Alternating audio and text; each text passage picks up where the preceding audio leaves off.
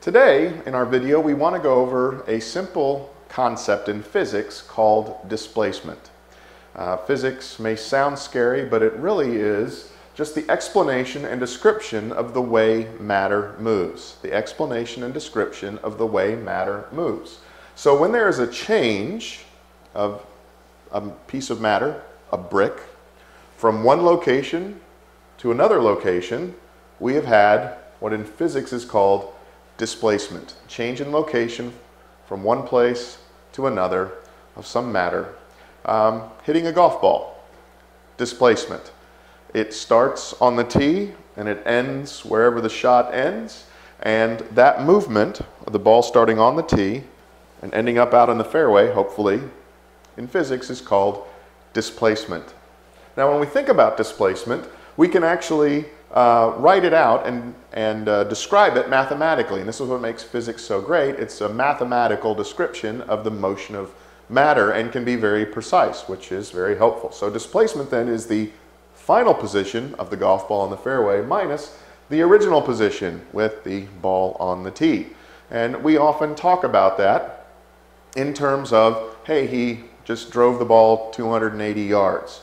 So that 280 yards is a description of the displacement of the golf ball 280 yards down the fairway from the beginning point on the tee. Final position minus the original position, 280 yards. And when we talk about it in those terms, just the size of that displacement, the distance traveled, that is a scalar quantity. Scalar is magnitude or size alone. We didn't talk anything about direction. Did it go 280 yards uh, down the fairway um, straight, or did it hook, or did it slice?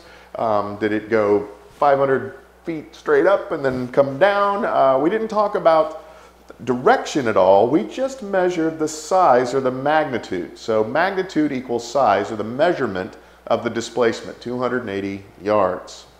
Now when we add direction to the magnitude or size, we get what's called a vector. So the difference between vectors and scalars is the difference between having the magnitude alone or having the magnitude plus the direction. And I've got some examples here on the board that we're going to look at.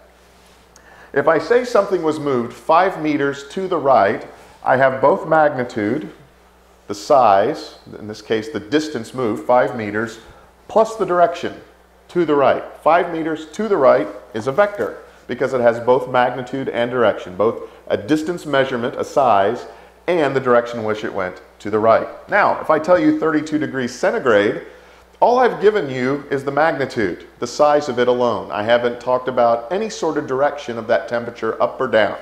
So that would just be a scalar. 32 degrees centigrade is a scalar. If I talk about um, 5 meters without giving you any direction. I've given you another scalar. If I talk about 256 megabytes, I've given you a scalar. I haven't given any change in direction, any change um, in, in the direction it's gone in the amount, lesser or, or uh, more. All I've talked about is here magnitude, the size. Now, if I say we traveled five miles north, I've just given you a vector. Magnitude, the measurement here, the size, five miles, and direction, north. And so when we think in terms of the golf ball, if I just said he drove it 285 yards, I've given you a scalar. But if I said he drove it 285 yards straight down the fairway, I've just given you a direction as well and a vector. Displacement, once again, is the main thing to take away from this video. That is the uh, movement, uh, the change in location from one place to another of matter. So the change from one location to another is called displacement. Think of a golf ball. Think of picking up and moving a box uh, matter moving from one place to another, and displacement can be described once again. It equals the final position minus the original position. Within displacement, we can talk about scalars and vectors. The difference between them being that vectors also include direction, whereas scalars only have magnitude. If you need a study guide, click the book at the bottom of the page. If you want more free test videos, subscribe to us on YouTube. If you just want to keep watching, click the next video.